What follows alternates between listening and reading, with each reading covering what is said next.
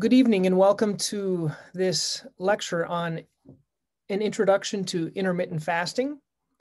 My name is uh, Dr. Don Pelto, and I am going to be talking about this. This is the second time that we've talked about this topic of intermittent fasting to the Shrewsbury Public Library. First, I'd like to thank those that are at the library that helped us to set this up. I'll tell you a little bit about myself.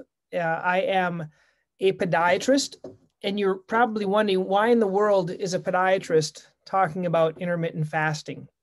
Uh, I'll get there in a second, but in my profession, I see diabetics every single day. About 25% of my practice are diabetics, and type 2 diabetics, about 100% of them are, are having some issues with weight, which weight then leads to insulin resistance, that leads to diabetes and that's why I've gotten int- introduced to some of these topics in terms of helping my patients. And I also uh, have done it personally for about three years now. Uh, I want to start here and, and share this with you. This is something my little six year old daughter made with me. And it's all a matter of perspective. So when I got this, I was so happy. And I looked at it and I said, wow, that's so beautiful. Look at what she said. She says, the best dad ever. And I was, this is great. It's sitting in my bureau in my, you know, bedroom. And then the perspective came in because we sent it out to some people and they and they and they read it a little bit closer and they said it says beast dad and because she doesn't know how to spell yet she wrote beast dad and that just made me think of there's a there's a perspective of what we think we should do and what we think should work and then there's actually the different perspective what actually works. What i want to talk to you about today are things that aren't just theoretical but these are things that work uh, for my patients and work for a, a lot of people. And the focus is going to be mostly on intermittent fasting but we are going to talk about some other things. I want to share a patient experience as we begin. This was a patient of mine and uh, you can see he was quite uh, overweight, still obese here, overweight. And then he kind of went down to, in 2021, he is a very, very uh, skinny. And this is a typical type of a patient that I see in my practice. And it's hard because I'm not the only one that's talking to my patients about their health. And what I started to realize is after I treated a patient, let's say I treated them for their ingrown toenail, or I treated them for their plantar fasciitis or one of these other conditions I treated them for, and they're better. I always end my conversation and I say, okay, Mrs. Jones, if we were meeting here in a year from now, what would make you happy regarding your health? That's what I say. And can you imagine what everyone says? 100% of the people that I see, they say, you know, doc, I'd like to lose some pounds. I'd like to lose some weight. That's what they tell me. And when they tell me they want to lose some weight, I ask, well, what's been working for you? What have you been trying? And I, I got frustrated because everyone is really trying hard. And usually what they tell me is they're trying to work out. And when they work out, then they get hurt with their feet get hurt. So they get a tendonitis or a plantar fasciitis or a foot fracture or something else because they're trying to work out. And then when I ask these same people, I ask them, do you like to work out? And the majority of the people, they don't like to work out. And I said, well, why are you working out? And they say, I'm working out because I want to lose weight. Okay. Working out isn't a very effective way of losing weight, especially as we get older and our joints hurt more and we're not able to do it. So if you're using working out as a weight loss method, when you're not able to work out, all the weight's going to come on. And I think working out is great. I think it's good for your mind. I think it's good for your body, good for your joints, but I don't think it's a good way to lose weight. And then I then I ask my patients, well, why? What are you trying right now? Well, I'm I'm trying this diet. I'm trying this diet. I'm trying to eat low carb. I'm trying to eat keto. I'm cutting out the sugar. And what I find is people they get some temporary wins they get some temporary successes with these types of diets but i don't really see that it's it's it's a long-term uh, result for them. It's not really a long-term success for them with dieting. Some can do it.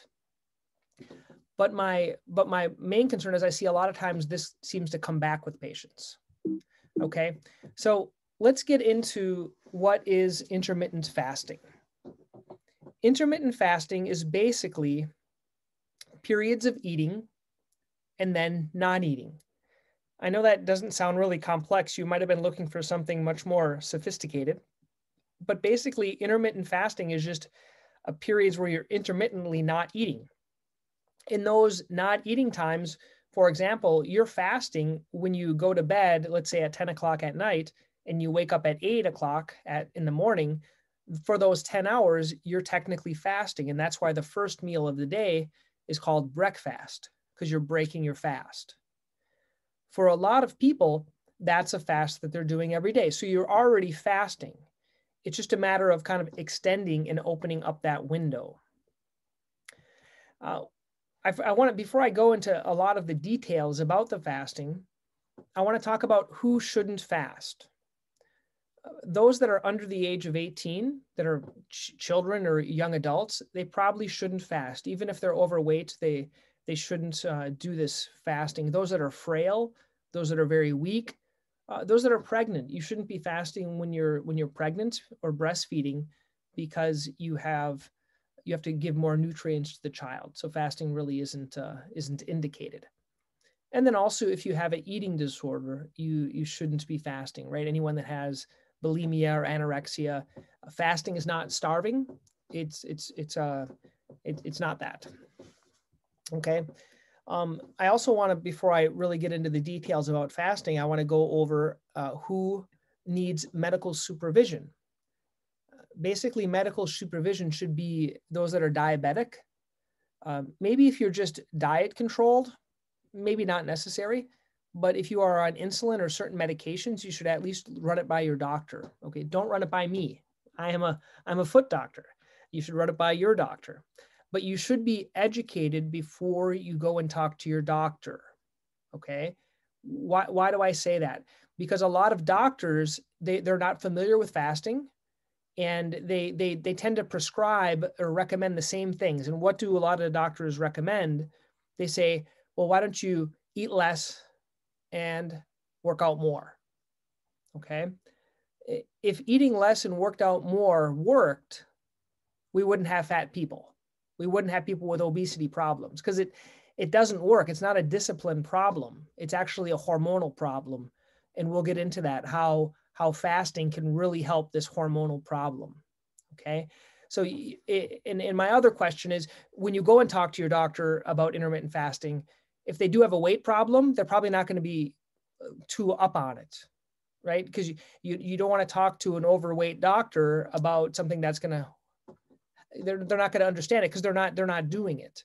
So you have to be you have to be careful about that as well. Also be careful if you're taking prescription medications. Um, if you're taking any type of gout medication uh, or if you have liver kidney or heart disease. So those are people that need medical supervision uh, for intermittent fasting um, what's the research everyone's always interested about research if you look uh, this was in the new england journal of medicine it's uh, it's an article that's on the effects of intermittent fasting and health and aging and disease.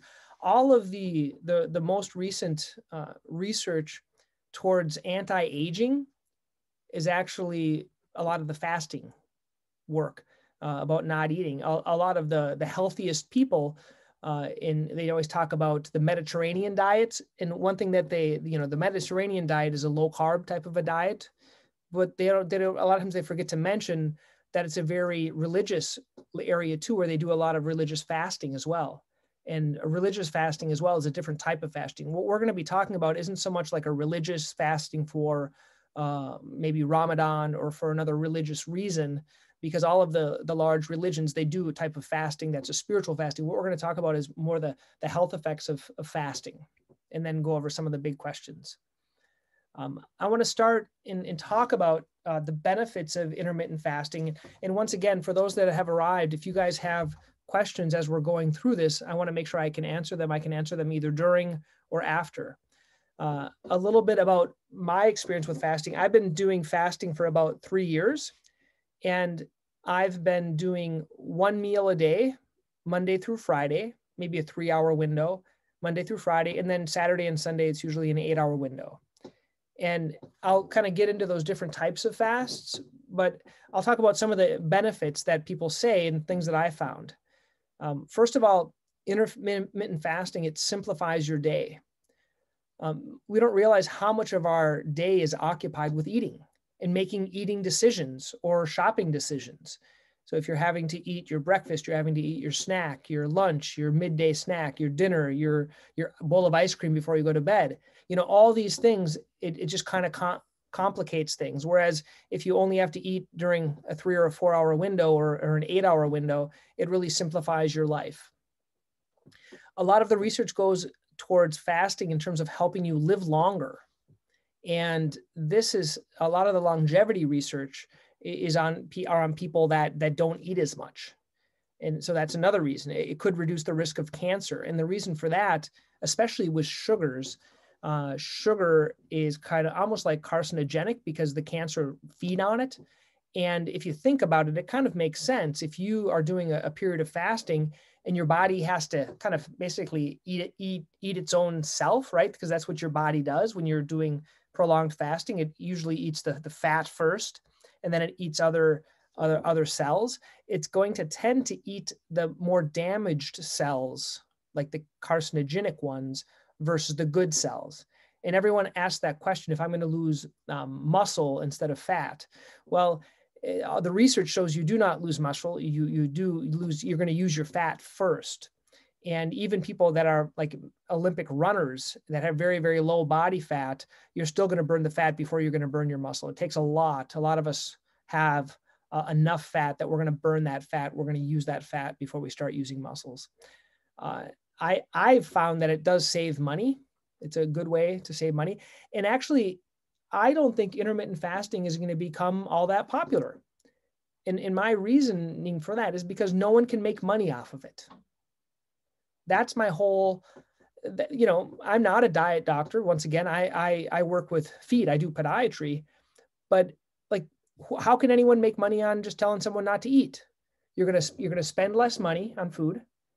You're not going to have to cook as much. You're not going to have to go grocery shopping as much you're going to get healthier you're going to get off your medications and all these things so there's no you know the, there's you're not going to really be able to no you can't make any money on it. no one's can sell this that's why it's not really popular everyone wants to what they want to do is they want to sell foods right they want to sell you this low carb food or this low carb snack or this low carb bar or this low, carb protein shake or this this special drops that you put in your water for a thousand dollars like everyone's trying to sell these things whereas uh, intermittent fasting, you can't you can't make any money on it. I don't think it's become important or become really popular.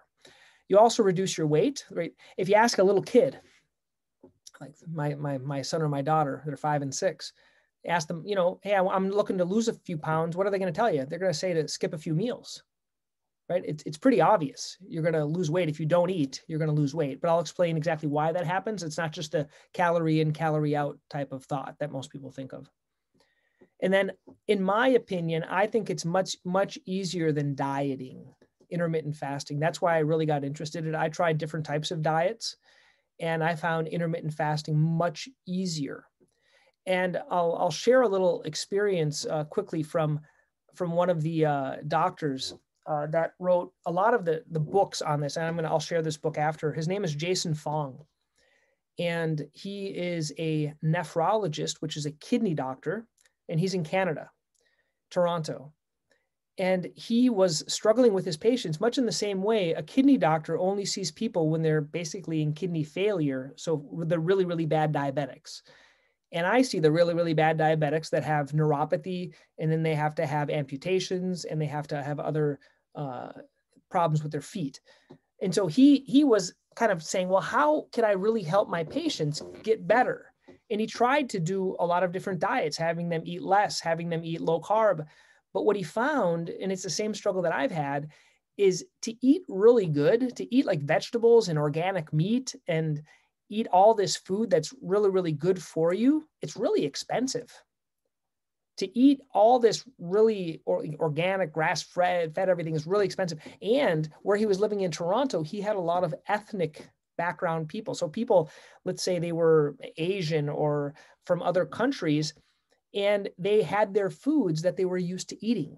it's really hard. A, a, lot of people that are on this call here, on this Zoom, you've been eating this way for 50, 60, 70 years. And you've been eating that same way. Okay. You may make little modifications, but to make big changes is really hard. And so what he found out, he said, he just figured out, he's, you know, it was a lot easier. He tried for years to have them change what they eat.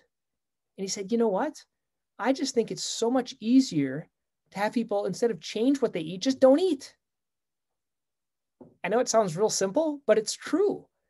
You just instead of changing, because how can you how do you change permanently? That's called a diet. And who likes to stay on a diet forever? No one does. No one. And that's the benefit of the fasting is you're not really dieting. Now, does it work if you tend to eat better, low carb? It does work better. If you exercise, it tends to work better. But even if you simply just skip a meal or two, a couple times a week, you're going to see the benefit. And that that was the the biggest benefit to me. And I'll and I'll explain a little bit more. So let's go into a little bit how it works. Um, how intermittent fasting works. The gist of it is that intermittent fasting it reduces a hormone called insulin. And you're probably all familiar with insulin because that's the same hormone that people inject when they have diabetes, when they have really high blood sugars, they inject insulin and it stores the blood sugar in the cells. That's what insulin does. So insulin stores sugar or it stores you know sugars into the body as fat. Okay? So that's the real simple explanation. So let's look at this. This is an 8-hour eating window. It's an example of a 16-hour fasting window.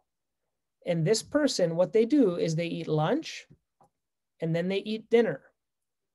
When you're in the eating phase of lunch and dinner, you're storing fat. When you're in the fasting stage, you are burning fat. It's really as simple as that. Does that, I don't know if that makes sense for you guys. Does that make sense? Okay there is a question. I'm going to answer this question as I go, and I'll explain this on the next slide. But the question is Do low carb diets without fasting reduce insulin levels too? Yes, they do. And I'll explain that in the next slide. Is fasting another way to do that? Yes. So let me show you this next slide. So, what you talked about is eating low carb, and that's called carbohydrate restriction. Okay. Carbohydrate restriction are uh, foods that, that if you're if you're restricting your carbohydrates, you're going to have a lower insulin level. But just so you know, anything that you put in your in your mouth is going to slightly increase your insulin. Okay? So there are certain things that increase insulin less. Okay? The things that increase insulin are fats, proteins, carbohydrates with fats, and then carbohydrates like breads and things like that. Do you, you see here that fats and proteins, which means like meat and fatty foods like high, high like eggs and, and cheeses and things like that, and, and butter and things, that it does increase your insulin, but it increases it less. And, and that's why they recommend a low carb diet. So a carb of more protein and fat because it raises your insulin less. But anything that you put in your mouth is going to raise your insulin level. So the only way to get really low insulin levels is to not put anything in your mouth. Okay? And I'll get I'll go over what you can drink. There are some things you can drink. But there so the things that increase insulin are a high carbohydrate diet. And we all know that. Everyone's always known that if you want to lose some weight, you cut out the cakes and you cut out the breads and you cut out things like that.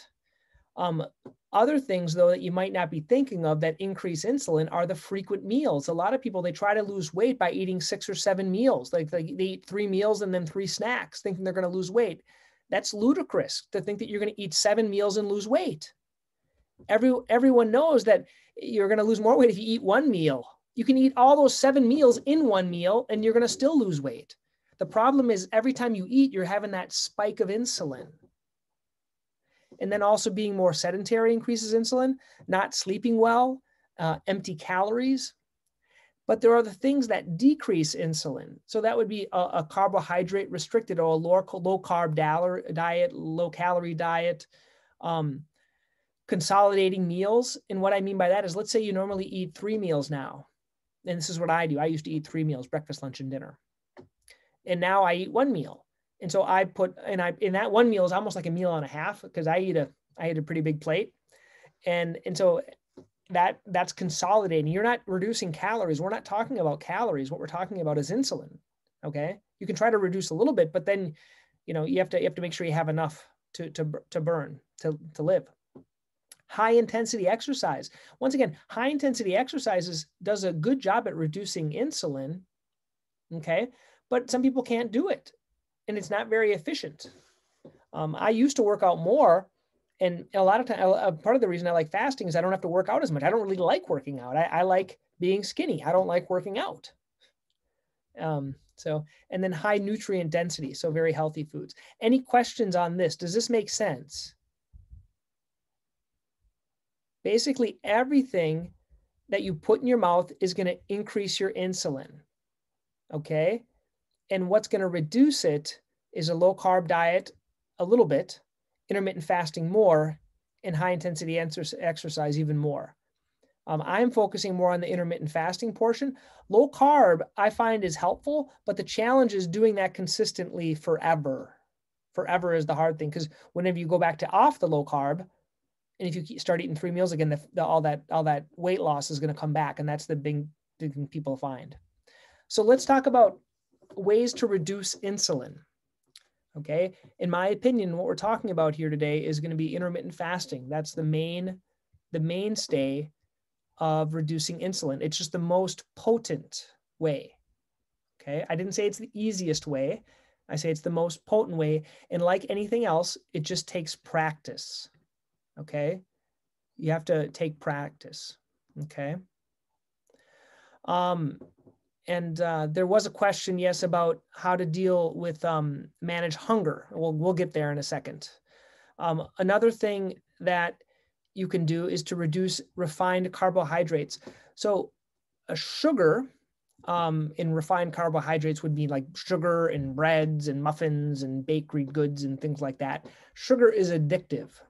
Okay, if you can reduce that, by eating more high fat food or natural fats like fish, avocado, nuts, things like that, that will fill you up. I don't know about you. If I eat a really big salad and tuna on it, and then I'll have some nuts on it and then some cheese, I'm I'm full. Okay. But if you give me a piece of bread or a muffin or a cookie or a cake and I start eating it, I just eat more and more and more of it. Because those high carbohydrate things, they just kind of make you want to eat even more. It's really addictive frankly, the carbs.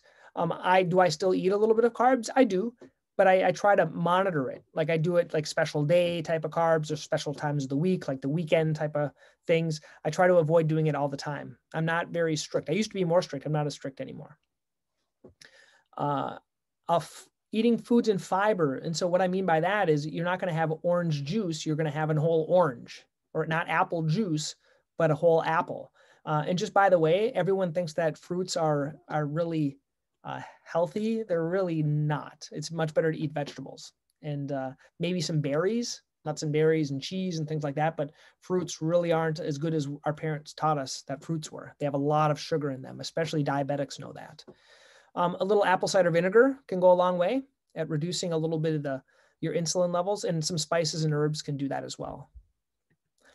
Um, let's talk about the types of fasts. Okay, I'm going to start with the very simple and then kind of get to the more complex. Um, when we talk about fasts, the way I did it is I I took about I think it was about a six month period to learn how to do it. Most of our problems come with this thing of trying to do everything at once, and I and I would not advise you guys to do that unless you're already fasting. Then you can go to the next level, but go slow uh, and I'll kind of walk walk you kind of how I did it, and you might want to consider doing it that way. But it takes practice. Okay, it takes practice.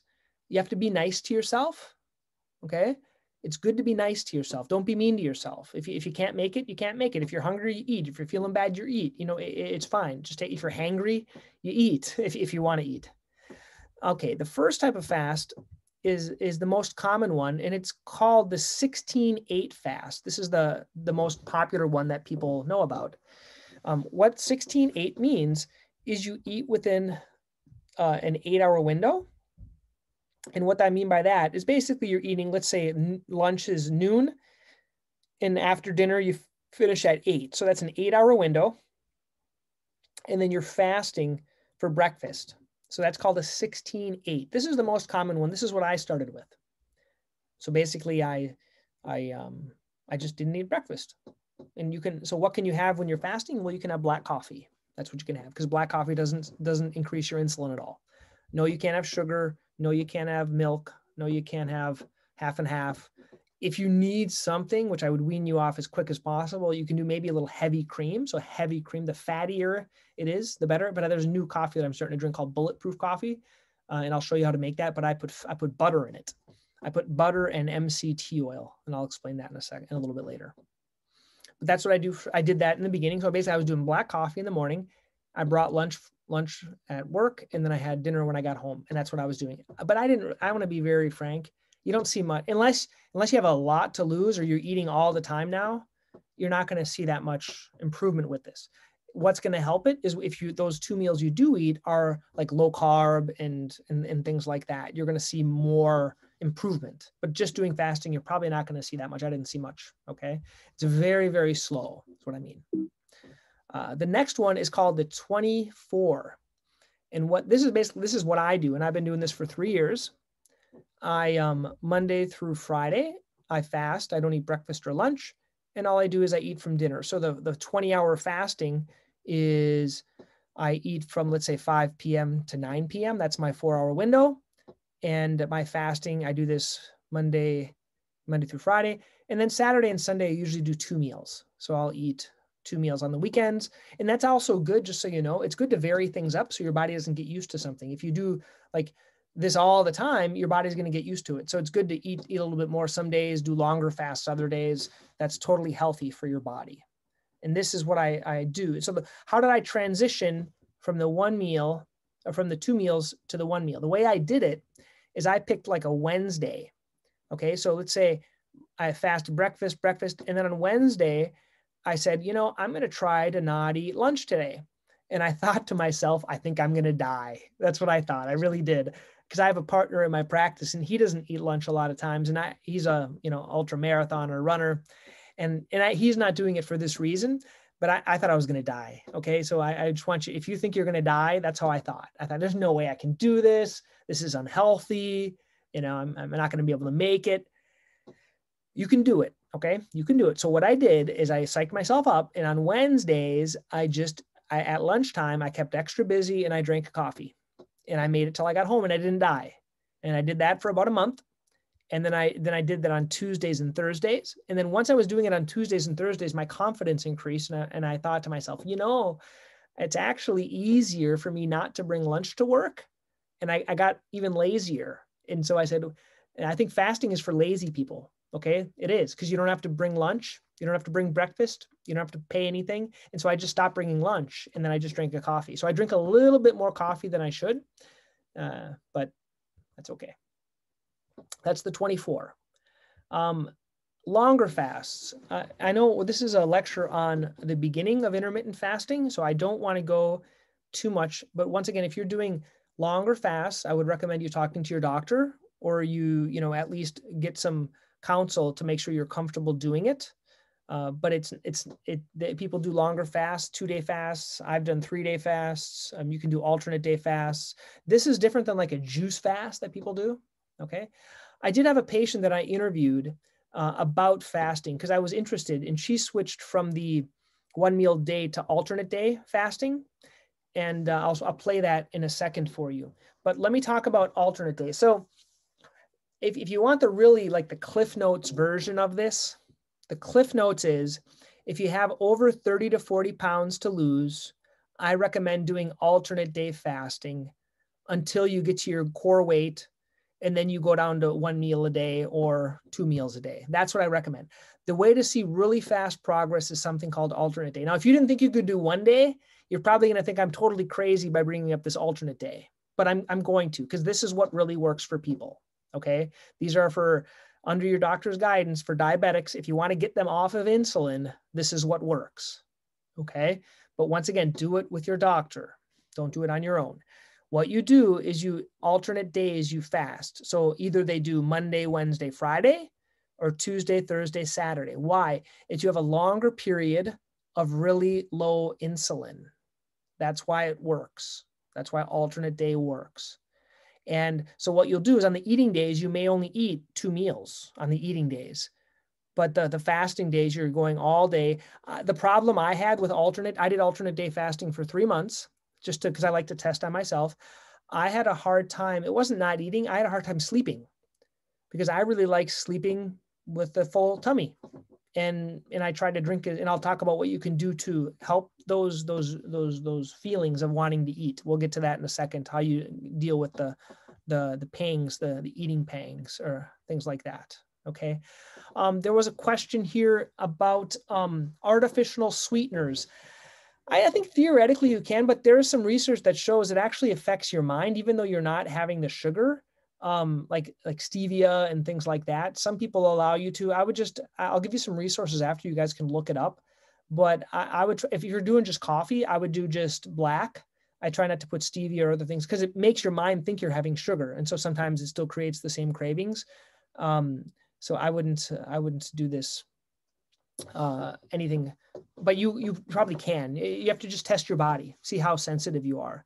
Um, and also the question about breaking it something. Yes, this is a good question about how do you break a fast. Those are these longer ones. I don't know if you want all the details, guys, but I'll tell you.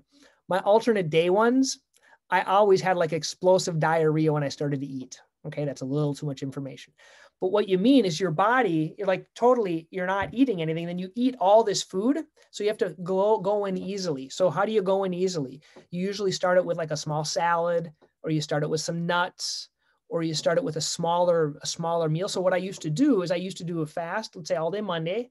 I came in Tuesday and I was maybe eating one meal. So I got home, I maybe had some nuts and a little bit something. Then I went and took a shower and then I had my big meal. Okay. And that was a big meal because I'm eating every other day but you do you should warm up your your tummy with something okay um, something that's a little bit lighter a little bit easier to process and things like that okay so yes that's a good point of how to break and this is for longer fast also we'll go into details a little bit later but um, for alternate day or one meal a day like once again i thought i was going to die. So I, in the beginning i was doing um it's called bone broth. It's basically a soup uh, a fatty soup where you take the bones and you boil them and you put vegetables in then you strain all that off and you just have that liquid that fatty liquid. That fatty liquid is make what makes you feel full and fat doesn't increase insulin. So that's what i did okay for my alternate day. Here's a little uh, interview i did of a patient um, about um, for you 16 8 I started to plateau a little bit around September um, 2019 and all the way through till about May. And I didn't really understand why. And I started playing a game with my friend too. So we both like, you know, trying to see who can drop the most uh, percentage uh, in weight. And so we have a, a game of 5%, 10%, 15%. So it kind of motivated me to, to do something more. And um, so I started going from 16 to 18 to 20 hour fast and I started noticing some results. But then, you know, there are a lot of because I had four kids, and uh, I get a lot of skin, um, extra skins around my abdomen. I wanted to get rid of it. And people have suggested to go to 36 to 48 hours fasting. So that motivated me to just give it a, give it a try. And so I just basically jumped from about 18 to 20 hours. Uh, and just one week, I just said, let's just do 30, 36 hours and see how it goes. And um, I started, they suggested to drink a little bit of coffee and tea in the morning to tie me over, and that worked really well. And I think I get a little hungry right around the 24 hours. But if I if I can just continue drinking water, and the way I time it is right around the 24 hours around my bedtime. So if I can just fall asleep and wake up in the morning, then 7 a.m., then I can eat right away. So it kind of works out for me to not like be alert. Okay, I, just wanted to put that because I like you to see. I, so whenever I have a patient that does really well, I interview them and I, I kind of learn what worked for them. And then in this specific patient, you can see that she ended her fast or 24 hour period at midnight. So let's say she started at 10 at night, going to 10 at night, right? And then and then she woke up in the morning and then she was right into 36. Okay, that's the way you can do 36. You have to make it fit into your lifestyle. Um, what can I drink when I'm fasting? So you can drink cold water you can drink hot water. I put salt here. Um, you can put drink tea, coffee, or bone broth.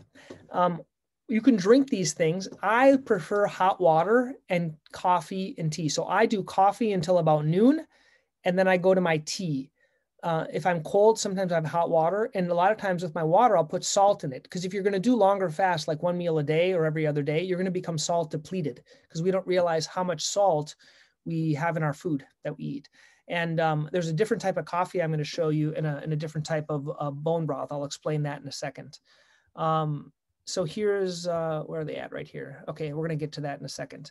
So um, that's what I do for, for drinking. Um, can I work out? Yes, you can work out. Um, and you can work out in the fasted state. Do you need a pre-workout during workout, post workout. No, I think that's just to make money. If you're looking to lose weight, you you work out, and then I work out at 5:30 in the morning, and then I eat at 5:30 at night. So you're going to be totally fine. How to manage hunger? The number one thing about managing hunger is hot beverages. Okay, hot beverages like hot tea, hot coffee, hot water. Um, that that makes you feel full. The second thing that works really well is keeping you busier. Okay, you have to be busy. If you're if you're just kind of at home not doing anything, you're going to eat. Okay, if you're bored, you're going to eat. So keep yourself occupied. Is it hard to concentrate? Um, some people have a hard time. Certain days I do have a hard time concentrating, but usually coffee helps me. So coffee gets me through. Um, the bigger problem is the days I can't drink coffee. But if I'm drinking coffee, I'm usually okay and I keep busy and my helps my concentration. It takes practice. If I have diabetes, ask your doctor. Okay, I, this is not. I'm not. This isn't medical advice. Okay, you should talk to your doctor, especially if you have diabetes or you have insulin. Um, there's a really good book called The Diabetes Code that I recommend. Um, can women fast? Yes, women can fast. There are certain issues with, um, you know, it depends on how extended your fasts are. Once again, you should talk to your doctor if you have any concerns, um, things like that. Is fasting the same as eating calories? No. And this is what I want to get at. If you typically eat three meals right now, okay, breakfast, lunch, and dinner, and you eat all three of those meals at dinner, you're eating the same amount of calories, but you're still going to lose weight because you only have one insulin spike. Does that make sense? So you can eat the same three meals. It's really hard to eat three meals at once. I've tried, but you try to eat like breakfast, lunch, and dinner together. Um, it's hard to do, but some of you might be able to. Uh, I usually do almost a meal and a half. Um, what are possible side effects? There's a lot. A, a, lot you might feel like, like I talked, difficulty concentrating, having hunger, um, being more irritable, being hangry um, you know, having a diarrhea um, if you go for a long time without eating and then eating. Is it dangerous? I guess if you if if you're feeling unsecure about it, stop. You can stop it anytime you want just by eating, right? You can, you know. I think it's more dangerous to be really overweight for a long period of time. Vitamins, just a daily multivitamin. Medications, talk to your doctor once again. Most people just uh, either, if they usually have breakfast um, with their medicines, they might take it at lunchtime when they eat if they're doing a, a 16-8. How to talk to your doctor. I would, I would prepare, I would research and uh, learn as much as you can and then go talk to your doctor and um, ask, you know, and basically let them see the results you know you should talk to your doctor but letting them see the results and just kind of say you know this is working for me. This is why i'm doing it uh, and these are the results. And a lot of times with the results there they'll be they'll let you try it okay? Um, some fasting tips okay? These are some tips i've learned and mistakes i've made. First of all don't tell anyone okay? Don't tell anyone until they start seeing that your clothes are too big for you okay? That's a just you don't have to tell just just oh you know i'm just i don't say i'm fasting okay guys? Like uh, just say you know i'm just not hungry or i'm, I'm not i don't want to eat right now you know you don't have to tell people you're fasting i'm not eating breakfast i'm fasting because a lot of times socially i can still have a coffee if my friends are going out for lunch i can just drink a coffee or i can drink a coffee for breakfast and you don't have to tell people drink a lot of water stay busy drink coffee ride the waves hunger comes in waves so I recommend riding the waves. Okay, so you feel the hunger. I'm hungry. I feel like I'm going to die. And then you you feel it. You wait five or ten minutes. Maybe you can put a timer on, And then if you feel unhealthy after that, you can have something, but you just ride the waves. It takes practice and give yourself a month to adjust. It takes time. And then go slow like I did. You just skip breakfast for, you know, you can do it, doesn't have to be every day, a couple days a week, and then slowly build yourself up. And I want you to be aware that fasting isn't an excuse to eat whatever you want. So just because you're eating one meal a day doesn't mean you should just eat really bad food that one meal or eat uh, only uh, a big ice cream brownie sundae. And then it should fit into your life. So for me, I have two young kids, I have a family. That's why I eat one meal a day because I like to eat dinner with my family. Another thing I didn't like about the alternate day is that I uh, I didn't have dinner. Like I had soup with my I had the bone broth soup with my family in, instead of eating. So it has to fit into your life. Okay. And I, I do a lot of my, lot of, ex, I do a lot, my extended fast when I travel. If I'm traveling for business, go to a conference, I don't have any social obligations. I'll just fast the whole time because I don't have any obligations. Okay. Um, here's some myths I want to go over. Um, breakfast is the most important meal of the day. It's actually not. That's why a lot of people, when they get up, they don't feel hungry. But I think our society and especially the food industry tells us that we need to eat first thing up and then we have to eat all day long. I think it's because of the food industry, not so much that it's it's the most important meal of the day. Eating small, frequent meals isn't the same as eating one big meal. I, I think it's better to eat one big meal because you have one insulin spike. If you eat multiple small meals, like I said, your insulin is going to be high, so you can never get into the fat burning. Um, you can't work out. Yes, you can. You can eat whatever you want you know, I tend to say I think good food choices are important. And what I tend to find is that once people start to lose weight with fasting, they change the way they work out and they change the way they eat because they're seeing small wins, they're seeing improvement. Um, we already talked about losing muscle mass. You're not going to lose muscle mass. Your body, you're not going to go low on blood sugar unless you're doing some type of diabetes medicine. Once again, talk to your doctor. But your your body naturally produces through your liver uh, produces glucose and my metabolism will slow down when fasting. That's not true as well. Okay. People think they need to eat seven small meals a day so their metabolism keeps up. It's just the latest research doesn't show that. Um, so your metabolism isn't going to slow down. If you're doing um, fasting the same way for a lot of days, that might um, happen. So that's why I'm kind of varying it up. Certain days eating more, certain days eating less. Some pitfalls. Um, I find that people, some mistakes are the, the hunger pangs. Once again, you have to ride the waves lightheadedness or dizziness, that a lot of times is due to salt. So if you're feeling lightheaded, uh, drink water with salt in it. Okay. Um, also for me, it's caffeine helps me. And then binge eating, just be careful of that. In the beginning, you might do that. Like after I was doing these alternate day fastings, man, did I eat a lot. And, and then I might, and I had to take a nap because I, I ate so much. Um, let me share you a few tricks, uh, share a few tricks. This is my favorite one lately. It's called bulletproof coffee. I do this every morning when I'm fasting and it's fine. Um, I take a blender, I take a, a, big cup of coffee, a tablespoon of butter. Okay, so I, I basically have my salted, it's salted butter. Okay, where there's little there's little dividers on your butter stick. I cut one of those and I actually pre-cut a whole a whole bar of it and I put it in the fridge. A tablespoon of MCT oil. MCT oil is coconut oil without the bad smell of coconut and it costs 10 times as much. That's all MCT oil is. A medium chain trans something or other oil. Uh, it's expensive, but it, it really kind of it fills you up and it's all fat, so it doesn't raise your insulin. And I do some cinnamon, so that's called a bulletproof coffee. I've been doing that. Um, it's, it's in about three months. Um, actually, some mornings I can't even take because it's so fatty. I can't even drink it. Sometimes I just want regular black coffee, but that's what I do in the morning. One of those, and then I'll go to my regular coffee, and then at lunch I'll switch to tea a bone broth. Let me teach you about bone broth. In the beginning, I was doing this when I did my alternate day fasts, and even my yeah, it was more alternate day. My my one meal a day, I didn't really need it. But what you do is you get some bones, put some onions, garlic, carrots, salt, peppercorn, spices, a lot of sugar, a lot of salt. I'm sorry, a lot of salt, and then uh, white vinegar. I guess you can put in here. You can get your own recipe, make your own. Basically, you put a little jar, and you're going to see this like big layer of fat and this is what I heated up and I put a lot of salt on it. And when my kids were eating dinner, I had my bone broth when I was doing my alternate day ones. Okay, so you might need to do that if you feel like you need something else. A lot of just did I mention salt? A lot of salt. Um, I'm going to give you some resources here if you want to learn more. Um, once again, uh, a, a, link to these slides uh, I'll I'll send you guys out as well. Um, uh, here's a good uh, intro on the Diet Doctor. They have a good intro to intermittent fasting the books I recommend either the Obesity Code, Diabetes Code, Complete Guide to Fasting, or Life in the Fasting Lane. And there's some YouTube videos from from Dr. Fung and Dr. Berg. Those are some good ones as well. So just a, a little checklist here for you guys. Uh, so when to eat, what to eat when fasting, water, coffee, tea, bone broth, times to fast. I would start at 16, 8, then go to 24, and then go to alternate day. And uh, I would recommend you keeping busy, drinking water and coffee, reducing your stress. Stress is a, a big cause of um, difficulty fasting. Don't tell anyone. Track when you eat versus what. So that's kind of a neat thing. People are used to tracking what they eat.